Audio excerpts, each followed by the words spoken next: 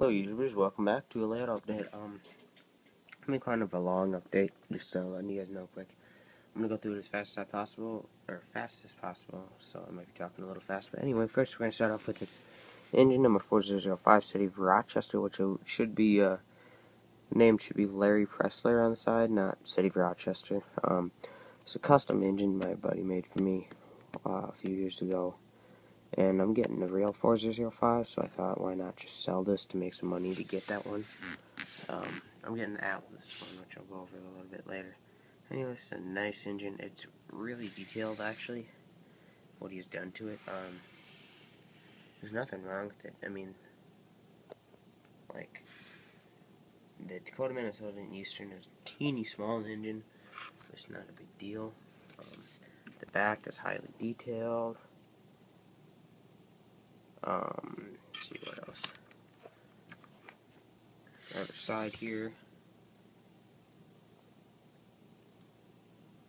Um,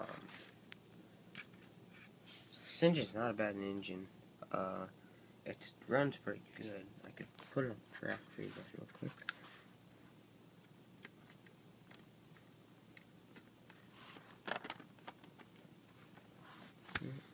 I think it's on now. Okay, and uh,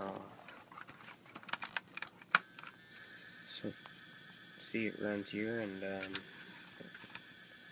run number two. It runs pretty smooth, actually. Um,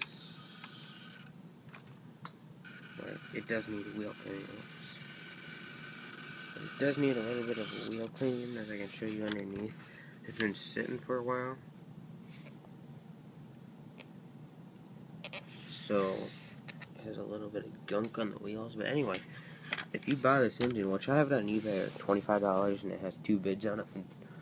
Um, it has two bids on it from two different bidders, and uh, but if you buy this engine and if you uh, put some handrails on it, I think it would be a really nice engine, especially to give someone that uh, likes the and just paint a little white stripe on here. And uh, these decals are not.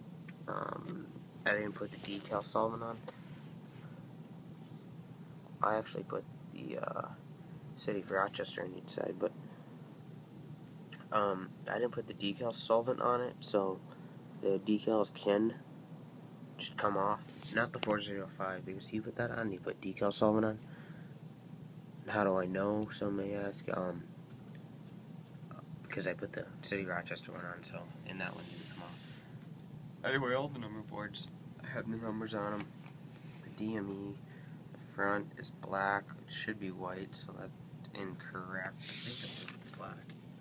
The back is correct. So anyway, it has fake ditch lights and stuff like that. Um, but it's on eBay right now. So how do you get to this? Um, you can go to my about section of my YouTube channel, and I should have links there, and one should be eBay. And if you cannot find that, just go on eBay and type in HO scale DME and it should pop up. It has like three days left on it, two, three days, so anyway, that's all for that. Next we're to move on. Um, this is DME number 7003, which I'm to get custom painted up this weekend um, at the Menomonee Train Show. It's not to get painted there. There's no one to paint it there. Um, I got a friend, Don Schultz, that'll paint it up for me. So, uh, he's gonna paint it up for me in Yemeni 7003. It's an old electric motor that I patched out a while back. I think I, I got this engine a few months ago. And on the layout, it's really nice, strong motor, which you know you obviously expect from Athearn. Um, so it's a really nice engine. It's Genesis too. See here's the Genesis locomotive. So. Anyway, we're gonna move on. Uh, 700 or, or 4003. I'm sorry. Um, this is the Atlas line from 2006. If you guys didn't know, and um, I'm gonna be getting 4005 out of this line, and uh, which is pretty awesome because I don't have all three of them. Or 4004. I'm sorry. Gosh. But I'll be getting that engine, which is City of Dodge Center, so that'll be fun. I'll be getting that in July or so. And uh, I know these engines are really expensive and stuff, so um, take really good care of them. And when I bought these used for sixty dollars, the guy didn't take that bad. You know, he didn't do anything bad to them, honestly. Um, all the details for these engines are still in the box, ready to put on, um, which I'll eventually do that one. I know I could put them on correctly without breaking anything or bending anything, hundred percent. Because uh, those engines mean a lot. So, anyway, I'm gonna get this guy decaled or detailed, handrails and crap like that. Um, hopefully soon. I don't know who will do it. I'm gonna ask my friend Don. I'll bring this into the train show and see if he can do it. See if someone else there could do it. I'm missing all the hand, most of the stuff on the engine, or for the engine, I should say. So they would have to order that from Kato. This engine's not old or anything, but it is an SD90 Mac XCS CEFX. So anyway, let me get that one done up too. So. Now we can move on to this car right here. It's a Pacific Fruit Express um, Union Pacific car. Um, I got five of these from a guy in the Crash Train Show, and they're really nice cars. They're extremely weathered, as you can see. what I did to them is I patched it out. You see, there's still some letters and numbers left on the side there, which I think is really awesome. Because it just shows, you know, it shows character. But anyway, I put reflectors on it um, all the way down, and I patched uh, the uh, information box on it there. And um, uh, I'm gonna put DME number 7500 and something on it. I'm gonna have all my reefers for DME and 7500 series, so be pretty cool. And I got a lot more of these to go, and I'm gonna get custom DME decals made. And if I get enough made, I could probably put some on eBay or sell them off the YouTube here to you guys if you want some. Um, if you want some, just comment below. Actually, you want to say, "Oh, that'd be cool," blah blah blah. But I'm gonna have those made up. Cost a little bit of money, but I think it's worth it. Next, we'll move on right here. This is my um, business card I got from a company called Vistaprint.com. Honestly, a good company. Um, all their stuff is pretty dang good price. I got a set of 250 of these gloss, um, really durable business cards. I mean, these are durable things. Like, I got one soaking wet purposely to test it, and it didn't even tear, so these are really nice cards. I'm not being a spokesman for them or anything, but if you want to get business cards like I do, just go to Vistaprint.com. Um, anyway, not a salesman anymore, I guess, but anyway. Uh, the Dakota, Minnesota, Eastern channel business cards I made up for my channel on YouTube and Facebook. And I put uh, all my information here and um, my background and such. Just used to be my old wallpaper for uh, YouTube. Still is for Facebook, which I'm not going to change. Now my new one for Facebook or YouTube is the uh, picture just like this of the uh, written on the side of one of my GP38 or GP40s, which is 403. And uh, anyway, um, I'll be handing these out to people at train shows and stuff. Hopefully get my channel more popular so I can get some more help on my layout here and help you guys and uh, promote you guys and give you shout outs in the video. And um, almost at 100 subscribers, so thanks a lot. I'm at 97 currently. Um, when I get to 100, I will do a giveaway special. Um, I'm, what I'm planning on is do a box car. I don't know.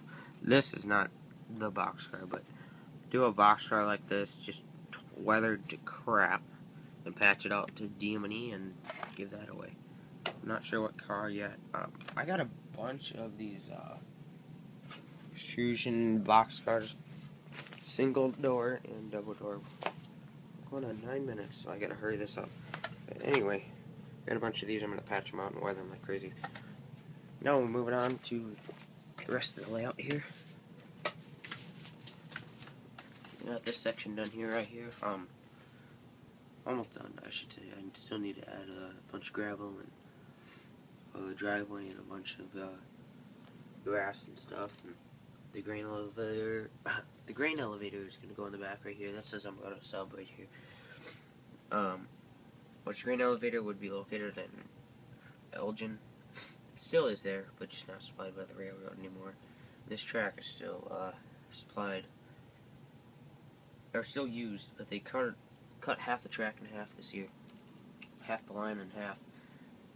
So, um, yeah. And over here is a pond and such. Which I think is pretty dang cool over here. Um, here's a house that a great friend made for me, and he passed away a few years ago from uh, lung cancer. And, uh, so it means a lot to me about this house, and this is actually my house. And I'm the owner of GMD, so I can rail fan, as you can see, there's a porch down here. And you can rail fan uh, industry or the mainland pretty dang good. And that moves around down here. So I'm going to move down right here. Sorry about this, but anyway, this is my roadway. This is Chicago Great Western Line that um, ran to Zumbrota from Rochester. And this is realistically cut right here. That's where they cut it before it hits the road. And right here is a mow area where they keep all the ties and spikes and all that junk and all the crossing, extra crossing there. Just In case someone breaks down, they got an old one there too. Anyway, all that stuff stored right there. I made this uh, Demony trailer up. It's on Facebook. You can get really good photos. Anyway, I made that trailer up, and it's really cool. Um, if you want to check it out, go on Facebook. On my channel on Facebook. Anyway, the road right there. Uh, it's almost done. I have white lines on both sides. I need to add a double yellow in the middle, and I added. I'm adding these uh, crossings here, which I have no purpose for these crossings. Get into focus here no purpose for these crossings here. So I'm just to make concrete bases for them out of the same plaster used for the uh, road, which I will do a how-to video on those roads. And I'll give a shout out to the person that uh, helped me uh, create those, well not help create those, but give me that inspiration to create those kind of roads out of that uh, putty stuff, which is right here. Which I'll, I'll show you it all later not a problem. Um, when I a road over to our left, I will show you, which that'll be next month sometime, so. And I just painted this, I'm going to gravel this up and put some like little potholes of water in here and put some trees around the track and a bunch of uh, tall grass, some static grass around there, so that's pretty much it ladies and gentlemen, so um, one more thing I would like to go over before this video is not allowed on YouTube. I'm going to go over 15 minutes, so I have two minutes left. I got this um, Siouxland Jeep 38 or GP40, I'm not even sure. Oops, I got it from uh, Train Show, 50 bucks. Very nice engine. Um, it's a Proto 2000, highly detailed. The guy detailed it after he bought it, and I got a 50 bucks. It's really smooth. So that's pretty awesome. And I'm also getting another GP9. It's a Walthers with DCC with sound. I'm getting another DCC with sound. So I have two of those engines, DCC with sound. I'm getting them. I'm trading uh, Great Northern SD7. That is a proto for that one, hopefully. And that's pretty much it, ladies and gentlemen. So thanks for watching. Um, please subscribe. Um, enjoy and always stay on the rails. Um, please visit my uh, YouTube Facebook group on facebook.com um, slash HO Scale DM&E channel. Or you could go to my Facebook page or my YouTube channel. Just click on my YouTube channel. Um, right below my wallpaper, it'll have um, in the right corner, it'll have all of these little uh, boxes that has all my links which one's to Twitter, which I don't use currently. I will be starting that up eventually later on this summer. But anyway, one of them will be my Facebook page and my eBay account. I think my eBay is on there, so you can click on my Facebook page. It's a private channel, so please join.